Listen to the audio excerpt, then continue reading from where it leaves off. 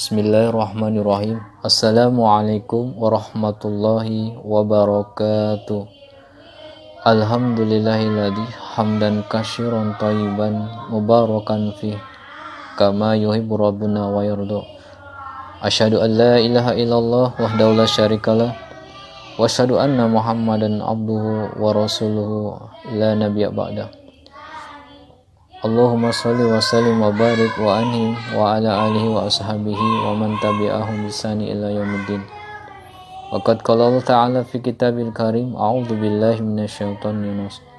يا أيها الذين آمنوا كتب عليكم صيام كما كتب على الذين من قبلكم لعلكم تتقون.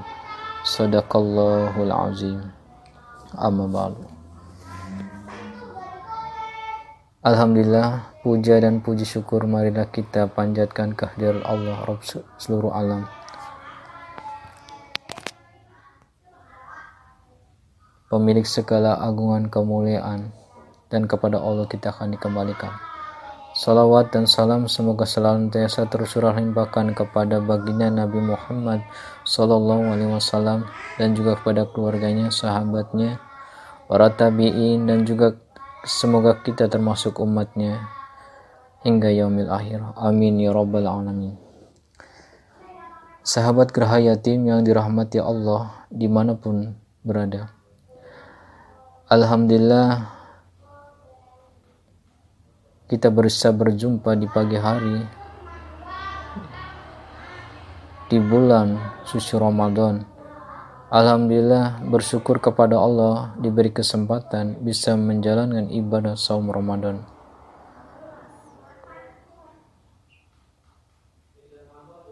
Bulan Ramadan, bulan yang mana begitu banyak keutamaan-keutamaan dan kebaikan di dalamnya. Oleh karenanya kami mengajak sahabat gerai yatim semua untuk bersama-sama kita mengenal dan mengulang kembali keutamaan bulan Ramadan. Rasulullah SAW bersabda, "Man soma Rabbana waqti sawm ghafir lahu ma min zambi." Barang siapa yang berpuasa di bulan Ramadan dengan penuh keimanan dan mengharapkan keriduannya, maka semua dosa yang telah lakukan diampuni.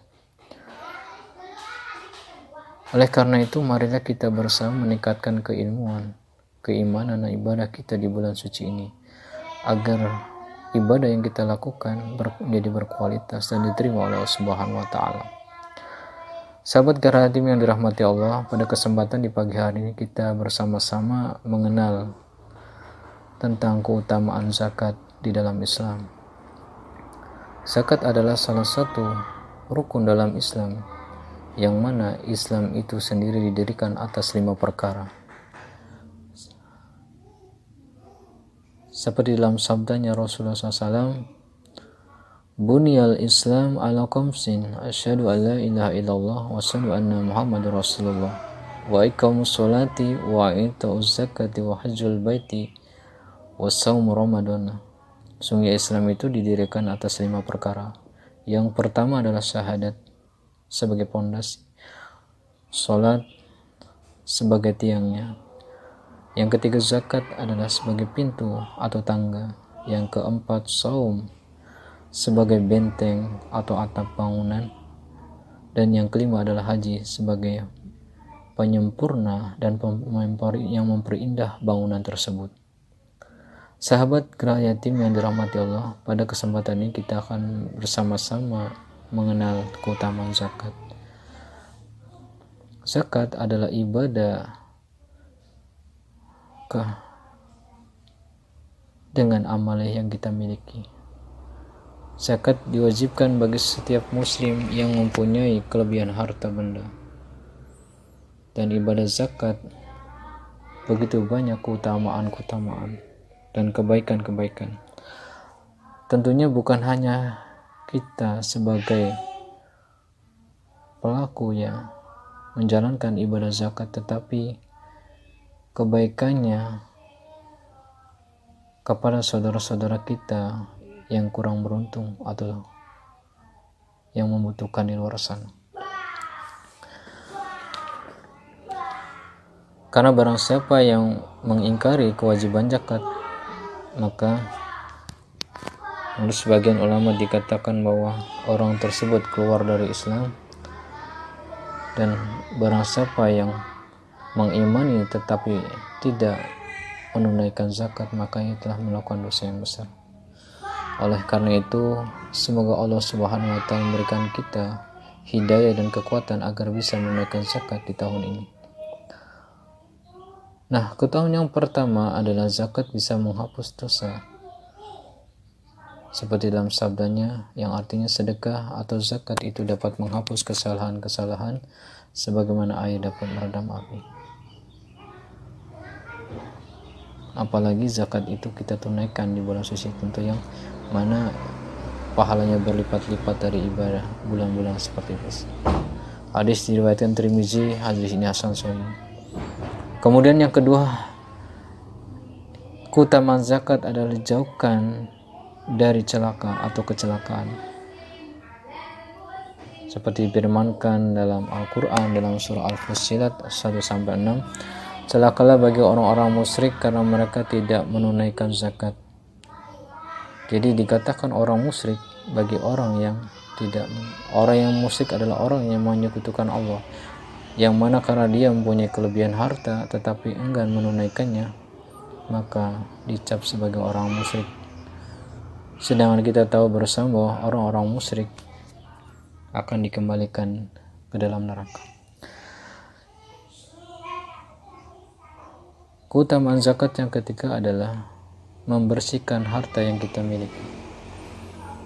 Difirmankan surah Al-Tawbah surah 3 artinya ambillah zakat itu dari sebagian harta mereka karena dengan zakat itu kamu membersihkan dan mencucikan mereka. Saudara-saudaraku yang dirahmati Allah, sahabat gerak yatim, sukakah kita memakan makanan, memakai pakaian, tetapi pakaian tersebut atau makan hakikatnya terdapat kotoran atau benda-benda kotor yang menempel, maka tentu kita tidak ingin memakai atau memakainya. Oleh karena itu, zakat membersihkan harta dan jiwa kita oleh karena itu, marilah kita segera menunaikannya. Kemudian, keutamaan yang keempat adalah menjauhkan diri kita dari sikap tercela, seperti yang dikatakan oleh Ibnu Hajar al-Asqalani mengatakan bahwa ke, menyegerakan kebaikan itu akan membebaskan dari tanggungan dan menghilangkan kesulitan bagi orang-orang yang membutuhkan, menjauhkan diri dari sikap tercela dan menunda-nunda sesuatu yang dapat segera ditunaikan. Lebih-lebih akan diri dia Allah dan menghapus dosa dengan zakat tersebut. Kesimpulan dari Imam Ajar Askani artinya bahwa zakat bisa dapat menghilangkan kesulitan atau kesusahan bagi saudara-saudara kita yang membutuhkan di luar sana dan bisa menjauhkan kita dan melindungi kita dari sikap tercela. Sahabat Grahatim yang dirahmati Allah. Saya mengajak untuk marilah kita bersama di bulan penuh berkah, rahmat dan maghfirah ini. Kita bersama semoga Allah Subhanahu wa taala berikan kemampuan kita agar kita bisa menunaikan zakat di tahun ini sesuai kemampuan masing-masing. Mungkin itu yang bisa dapat saya sampaikan. Kurang lebih mohon, maaf. Kesempurnaan milik Allah. Keilapan kesalahan milik kami saya pribadi. Mohon dibukakan pintu yang maaf yang sebesar masalahnya. Akhir khalq akhir kalam billahi taufiq wal hidayah waridu wal inayah. Assalamualaikum warahmatullahi wabarakatuh. Taqabbalallahu minna minkum minna wa minkum taqabbal ya karim